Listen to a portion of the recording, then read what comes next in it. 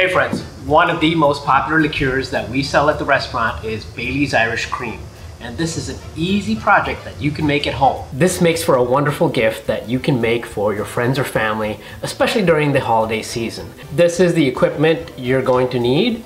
I'm gonna use a blender. However, if you are not using a blender, you can do this very easily using a mixing bowl and a whisk, and you'll need a funnel that will fit into the bottle that you're gonna put your liqueur in. So let's get started by talking about the flavor notes that we're working with. Now, the two main flavor components of this classic liqueur is whiskey and cream.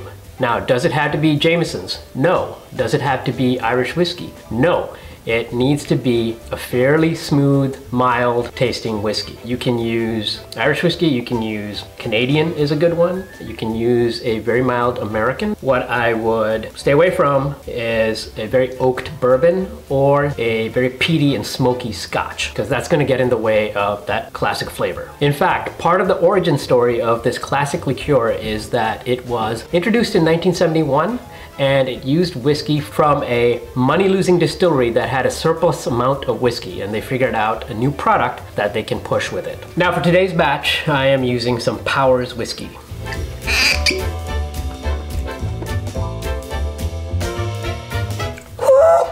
Burns like hellfire! What I'm going to start out with is the whiskey, and this is quite a bit. Let's talk cream. We're going to get this element by using a combination of sweetened condensed milk, not evaporated milk. Make sure you get condensed milk and heavy cream. Now, the all important,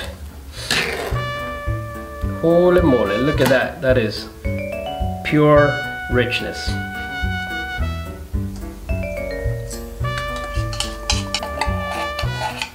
Okay, so let's discuss the secondary flavor notes that you're going to get in this liqueur. Let's start with chocolate. Now, you can get all fancy and get single estate grown, sold only in Brooklyn, cocoa powder. But the reality is when they were making Bailey's in the first test batch, they were using Nesquik milk chocolate powder. So today I have something you can very easily make milk chocolate out of, which is I have the Hershey's Simply 5 chocolate syrup.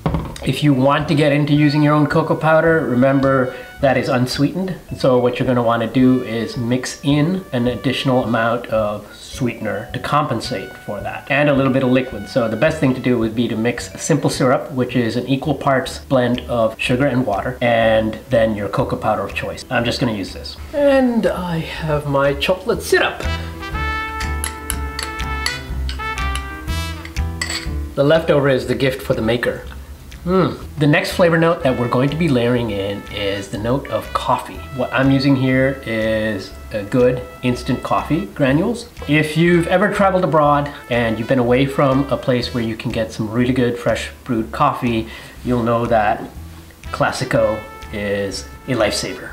Also, when you're going camping, why are we using instant coffee? Well, if you were to use brewed coffee, what it's going to do is dilute the final product and change the viscosity of the liqueur. Okay, I have my coffee granules here. So one of the secret hero ingredients to almost any item that is of a sweet nature, and that is vanilla. You know how people say butter makes everything better? Well, vanilla makes everything of a sweet nature better. It kind of works in the background and then helps bring forward everything else.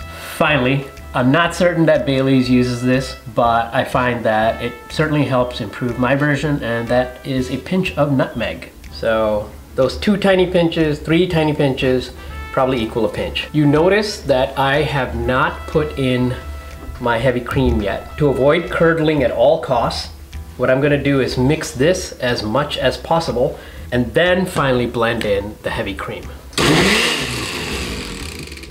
All right, now I'm going to add my heavy cream in.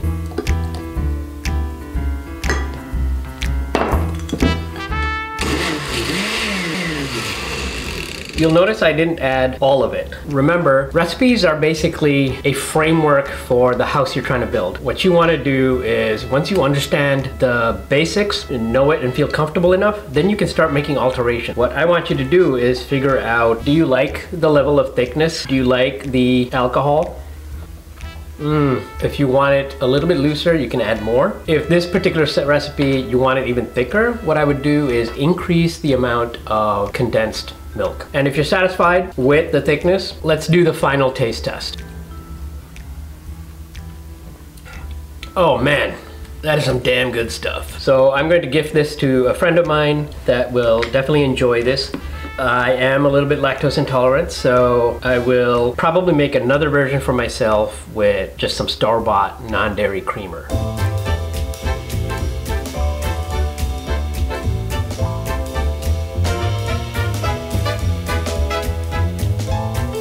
Mmm.